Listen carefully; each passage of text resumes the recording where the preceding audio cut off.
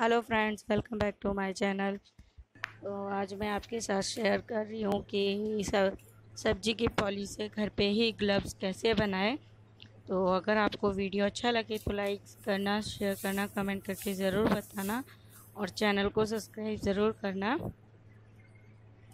तो पहले मैंने मैंने इसमें क्या क्या लिया है यहाँ पे? कैंची लिए है, मोमबत्ती लिए है, एक कागज़ लिया है, एक पेन लिया है और सब्ज़ी की पॉली ली है।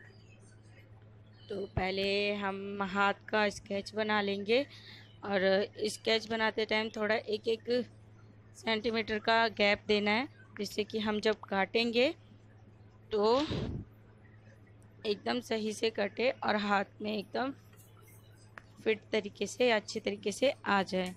तो मैंने ये स्केच बना लिया है, अब मैं इसे काट लूँगी और काटने के बाद मैं इसको पॉली पे रख के एक एक सेंट दो दो सेंटीमीटर की दूरी पे काट लूँगी। तो ये मैंने सब्ज़ी की पॉली ली है। तो पहले इसका नीचे का हिस्सा और ऊपर के दोनों हैंडल काट देंगे। तो ये मैंने काट दिया है और मैंने इसको लंबे की साइज़ में ले लिया है, क्योंकि चौड़े के साइज़ में ये, इसकी चौड़ाई कम थी और लंबाई ज़्यादा थी तो लंबाई के साइज़ से ले लिया है मैंने। तो अब मैं इसको काट लूँगी। तो मोमबत्ती जला लिया मैंने, चाकू को गरम कर लिया है मैंने। पीछे आवाज़ आएगी तो उसे इग्नोर करना, क्योंकि मेरी, मेरा बेबी जो है बहुत चिल्ला रहा है, परेशान कर रहा है। तो इसको ऐसे करके चाकू को गर्म करके इसके किनारे अच्छे से काट लूँगी मैं इसको।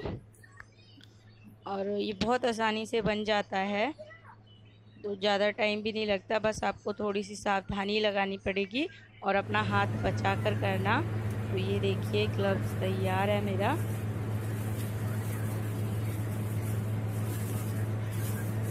मैं पहन के दिखाती हूँ आपको। तो वीडियो अच्छी लगी तो लाइक सब्सक्राइब ज़रूर करना चैनल को। सब्सक्राइब करना।